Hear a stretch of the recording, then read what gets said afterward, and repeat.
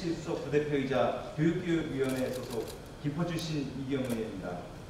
저는 오늘 경기도민의 교육, 교통복지 제고를 위해 광역급회철도 GTX-D 원안 유지 및 광역교통망의 확충을 촉구하고자 이 자리에 섰습니다. 최근 제4차 국가철도망 계획 공청회 이후 GTX-D 관련 불만의 목소리가 언론을 통해 보도되고 있습니다. 저는 이번 공청회에서 경기도가 제안한 GTX-D 노선이 대폭 축소되어 나온 것에 대해 국토교통부의 실망감을 감출 수가 없습니다.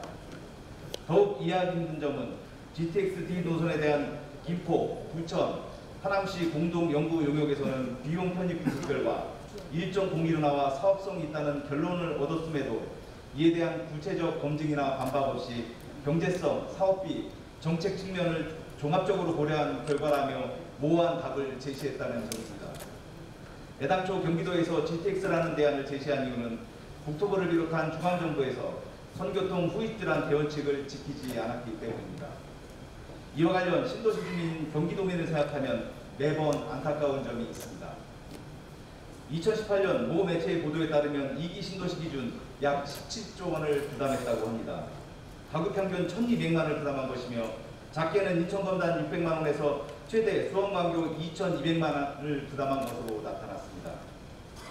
우리 경기도민은 결국 이미 비용을 부담했음에도 불구하고 심하면 왕복 3, 4시간 걸리는 통근을 감수하며 살고 있습니다. 비용을 이미 부담했고 다수의 교통 전문가들조차도 인정한 GTX의 필요성과 광역교통망 확충의 중요성에도 불구하고 경기도민은 다시금 GTX 원안 촉구와 광역교통망 확충을 요청해야 하는 상황입니다. 오랜 문제지만 누군가는 반드시 해결해야 합니다. 이는 180석 책임 있는 여당이 반드시 완수해야 할 일이라고 생각합니다. 이런 배경을 잘 아는 저 이경은 교통소외지 경기도 김포의 한 시민으로서 그 고통에 공감할 수밖에 없었습니다. 광역교통망 구축은 문재인 대통령의 공약이기도 했고 모든 경기도민의 염원이기도 합니다. 광역교통망 구축은 경기도민의 삶, 삶의 질 개선은 물론 문재인 정부의 100대 과제 중 하나이며 참여정부의 역점 사업이, 사업이기도 했던 국가 기정 발전에도 부합하는 사업입니다. 실제로 광역교통망 구축을 위해 대통령님께서는 대도시 광역교통위원회를 출범시켰습니다. 그러나 여전히 고향, 파주, 동닭과 같은 이기 신도시 교통망은 부족한 상황입니다. 실제로 저를 비롯한 1380만 경기도민은 교통소비에 턱없이 부족한 교통수단으로 인해 여전히 고통받고 있습니다.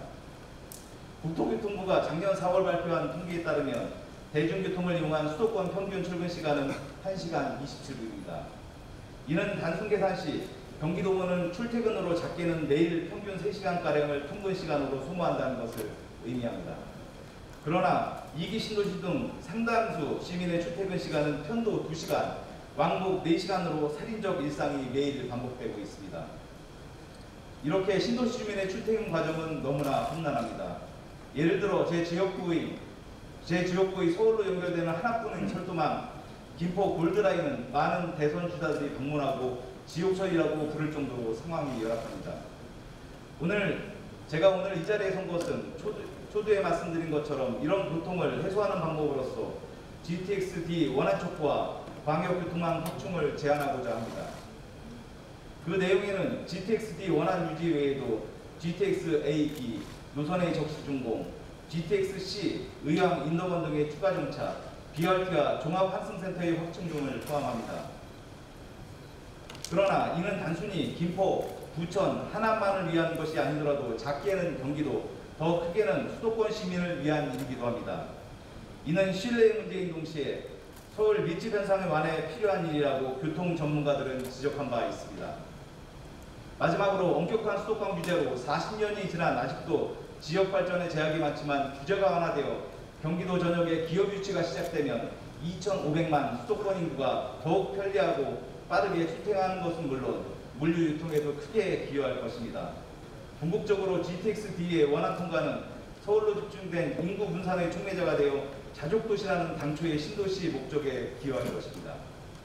국토교통부는 이제라도 잘못 전점을 인정하고 경기도가 제안한 GTX-D 노선의 원활 유지를 통해서 경기도민의 열망인 광역교통망을 완성하고 문재인 대통령의 공약에 대한 균형 발전과 자치분권의 새 시대를 열어주실 것을 당부드립니다.